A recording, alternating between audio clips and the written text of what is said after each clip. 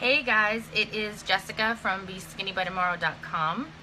So I wanted to make this video for you guys because I know that there are a lot of people that follow this page that um, have PCOS. And if you don't know what that is, it's called uh, PCOS, short for Polycystic Ovarian Syndrome. Um, it is an awful thing to have. Um, I've had it for years and years and years. I was able to alleviate a lot of my symptoms, um, if not all of them, just by going vegan. Um, it has helped me tremendously. But in the last four months, I have been trying to figure out why I am working out, right? And I don't go to work out and like walk on a treadmill for 10 minutes and then like call it a day. When I go to the gym, I go to the gym, right? I go there to do what I have to do and then I come home. So I couldn't figure out why I've been working out a lot, like five, six days a week. Um, I eat right. I eat so healthy. Um, I've even started to, I've dropped soy, I've dropped gluten. I mean, I'm like doing everything, right? On top of being vegan. So, and like, I'm losing weight, but not even close to the speed at which I should be losing it. So, I started to think about what is going on with me. What have I changed or stopped in the last, you know, few months? Um, because this is when it all started. Because as I'm like working out a lot more and more, you would think that I would be like at the point that I'm at right now, for the amount of working out I do and the amount of healthy eating that I do, because I I can't tell you like I've had maybe like one cookie, and it's a vegan cookie, and it's so I mean uh, in like the last like I mean month, two months, you know? Like, I don't snack like I used to. It's not even like that. And so, for the amount of healthy lifestyle stuff that I'm doing and have been doing, in the last like four months, I should have gone from like what I looked like, which a little bit, you know, less fit than I am now, to like completely shriveled up to a little tiny little bean. I mean, because it's it's just common sense. That's what should be happening, right? But the reason that may not be happening is because of your hormones.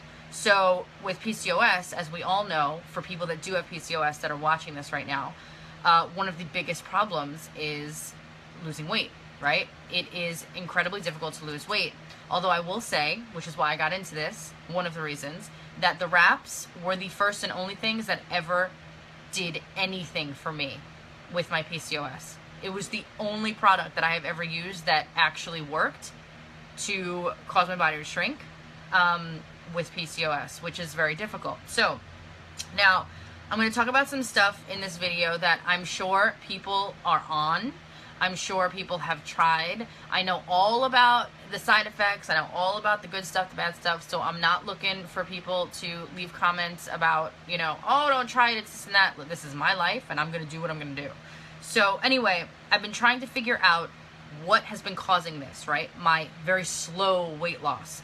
Um, because, like I was telling Dan today, on top of working out and eating right, I'm on vitamin D supplements, so that alone should be helping my weight loss, um, as well as doing using It Works products. And I know It Works products in the past have worked phenomenal for me, and all of a sudden, like nothing's happening. So I started thinking about the last four months. I'm like, well, what have I changed? Okay, well, I started adding vitamin D to my to my regimen, right? But that should not be making me slow down weight loss. It should be actually speeding it up. So it's not that, right? And I started thinking about, well, have I been stressed out? Yeah, super stressed out, but not really anymore, considering the vitamin D has made me feel better. So I started thinking about other stuff, and I'm like, huh.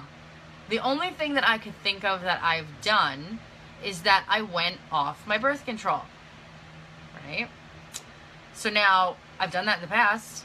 I mean, before I met Dan, I've done that in the past, right? I don't remember it being an issue, but then again, in my past, I was overweight, not trying to lose weight, so it wasn't on the forefront, right? So I'm in bed last night and I'm looking and I'm researching and I'm like, can going off the pill cause either weight gain, slow weight loss, all those things, right? Apparently, apparently you can um, I found a website where there were, I don't even know how many testimonials on this forum and this website and this whatever it was, where people were eat of that had PCOS went off their pill and all of a sudden, like within two months, they gained like 15 pounds. Some of them like gained like seven pounds in a week. It was like astronomical numbers where you're just like, how is this happening, right? Is, are they pregnant? What's going on? Not pregnant, nothing's happening, right? Um, but there were thousands upon thousands upon thousands of women commenting in this website uh, forum where they said that they went off the pill and they gained weight or their attempts at losing weight weren't going as fast as they normally would have. So I started looking into it more. And I'm like, okay, so all of this started happening right around the time. I mean, this is like exact time frame that I'm thinking of.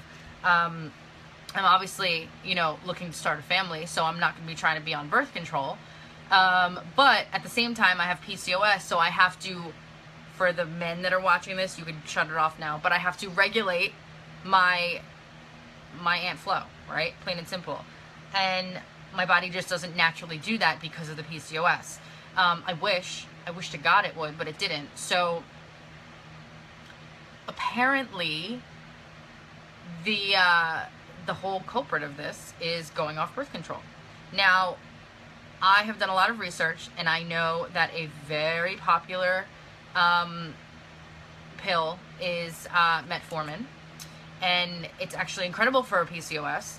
Um, it's great for infertility. It's great for regulating your cycles, um, and it also makes you lose weight. Gee, I wonder why? Because your hormones are completely out of their mind, like going psycho, and you know, you kind of put them all in one room and you're like, sit your ass down, get your shit together, and act like you're supposed to act, and then all of a sudden your body follows suit, right? So that's what I need to do. I need to get on metformin um, and tell my hormones to chill the hell out and uh, get me back like in shape and get me going because you guys when i tell you i eat healthy i eat healthy like tonight for dinner i'm having a head of cauliflower that i roast in the oven because one it's really filling two it's super low in calories and three i make a bomb roasted cauliflower and it's so good. I have this like two to three times a week sometimes. It is so good for you. Like if you like cauliflower i'll give you my little recipe. But it's so so good.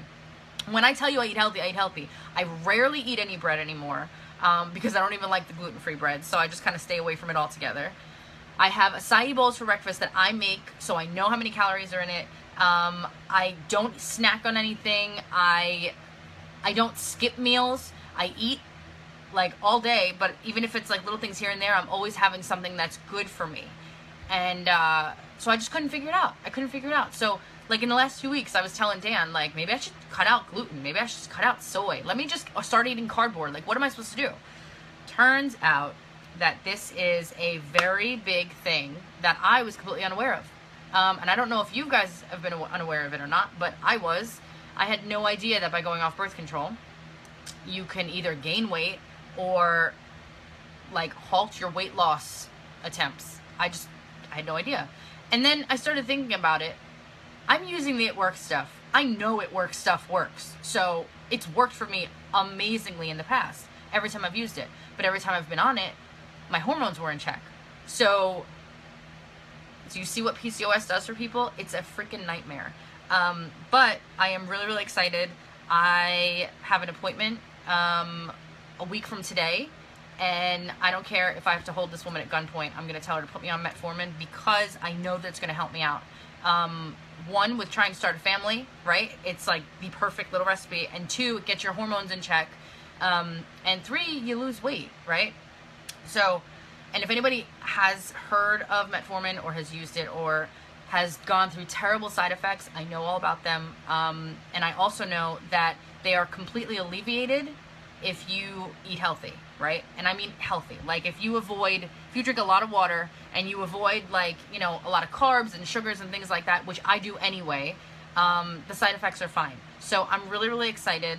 And I just wanted to tell you guys that, you know, as I'm going through this, I want to keep you updated on my progress um, and let you know exactly what's going on with me, right? Uh, whether it's with the vitamin D, the uh, the metformin, the everything. I just dropped my pen.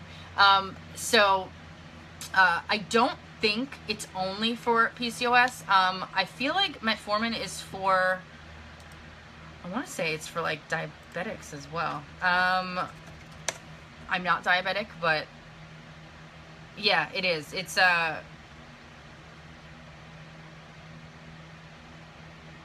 it is for diabetics as well. So, um, it's it's like everything, but it's not just for PCOS. No, but it is amazing for PCOS. Um, and as for somebody that you know is not regular, myself, um, not regular at all, um, and stopped the pill like I said like four months ago. Nothing has showed up yet, which is also causing me to feel like, ugh, like seriously people have gone on metformin and like within three days, boom, there she is. So I'm hoping that that, as well as the weight loss and things like that, um, should be good. I mean, people have gone on this pill and they have dropped weight without changing anything to their diet and exercise and literally nothing. So I think that with me being healthy already, um, it should be incredible for me because I do work out and I do burn calories and I do make sure that I'm not putting junk into my body every single day. So it should be something. Um, but I am so excited right now. I cannot even tell you. And it's like I'm just I'm just so excited. So I'm gonna update you guys with um, with what goes on with me. Um, I'll let you know like on a weekly basis. Um, like I said, I'm gonna go to the doctor on Wednesday and get the prescription and all that stuff. Um, and then uh, I'm really really excited. So that's it. So again, yeah, sometimes right? If you're doing everything that you're supposed to be doing and you're not losing any weight, it's hormonal. It is 1000% hormonal. Um, whether you have PCOS, which you might, I don't know, um, or you have just a, a hormone imbalance in general, you know, it's that's what's causing you to either gain weight or or not lose weight at the rate that you should be losing it at. Um, like I was telling Dan today, I literally should be like completely like but it's not happening. So i don't know what's going on. So i after much research i was shocked to find out that when you go off the pill that you start that you start gaining weight. And i think what i think is happening with my body and most people's bodies when they get off the pill and they have pcos and then all of a sudden they either gain weight or like they can't lose the weight anymore i think what happens is your body starts to think that like it starts to prep you for being pregnant because you're off the pill and like your hormones are all crazy. And it almost makes like like like a cushion right? Like it thinks that okay you don't need to be losing weight right now because you have to prep for the child and all of these things right? It's a crazy crazy thing. And i told dan today i was like do you see how ridiculous it is to be a woman? Like especially one with pcos i can get rid of all the other symptoms no problem. But like the main thing that I have to, I mean, I've tried everything. I've tried maca root pills. Um, I was about to go and get uh, progesterone, uh, progesterone cream. I mean, there's so many things for PCOS that you can try, but it depends on the, the level that you have it at, right? I've never, with PCOS, I've never ever been one of the women that has, you know, like bursting cysts, right? I know I know that that's a big thing and it's really really painful. I have had painful cysts, but like none that like exploded. Um, but it's been really bad.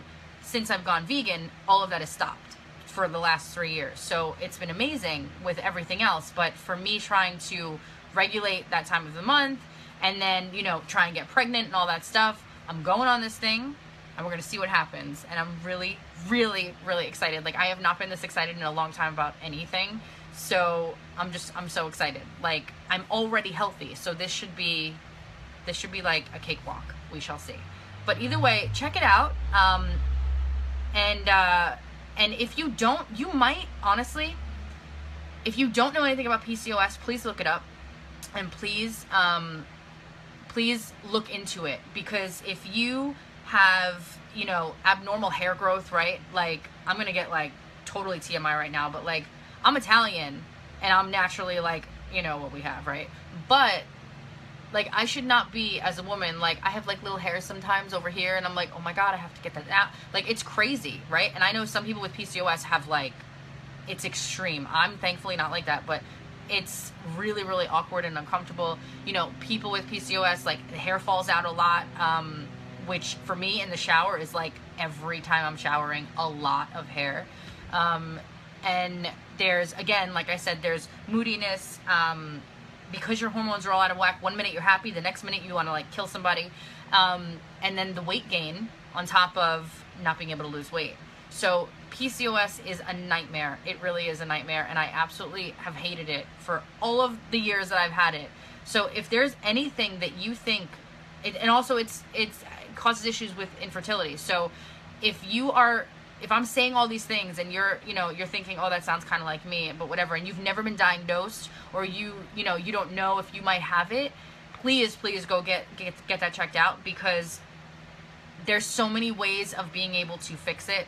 You can't get rid of it completely, but you can alleviate your symptoms and you can fix other issues that come along with that. Like for me, like I said, a big thing is hormonal imbalance. Um, people with PCOS, you're never regular on your time of the month ever. Um, and see, exactly, yeah. I mean, I'm so sorry to hear that, Angela. That is really, that's really crappy, and I'm really sorry to hear that. Um, but yeah, it's, it's a big deal. Um, and it, what's crazy is that it's not, there's still like, a lot of people don't talk about it, right? A lot of people talk about endometriosis and like, you know, other stuff going on, but no one really has done an extensive amount of research on PCOS yet. Like nobody has found a cure. Like there's nothing out there. Like it's just like you kind of just alleviate the symptoms. And it's really unfortunate because I want more people to be aware of it because it affects everything. Like your hormones affect every part of you. So, you know, again, if you're trying to conceive, if you're trying to lose weight, if you're trying to just figure out why the hell are you so tired all the time and it's just it's your hormones it is absolutely your hormones. Um, you know, get your vitamin D checked as well because that's that has a lot to do with it.